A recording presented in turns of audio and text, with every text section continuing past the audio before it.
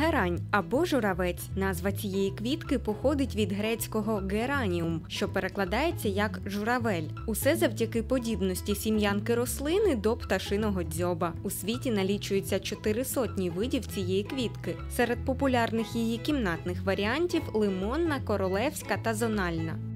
Каждая из гераней Будь-яка герань живцюється однаково, але тривалість її укорінення різна. Зональна через два тижні пускає коріння, цвіте через 2-3 місяці. Королівський потрібен місяць, щоб пустити коріння. Зацвіте вона наступного року. Лимонна пускає коріння десь місяці через півтора, а цвітіння проблематичне в домашніх умовах.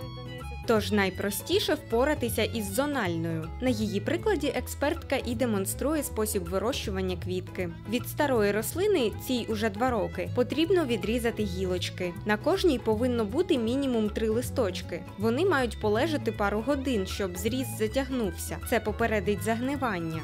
Далі обрізаємо нижнє листя, а верхнє розрізаємо навпіл. Занурюємо гілочку у пісок та поливаємо.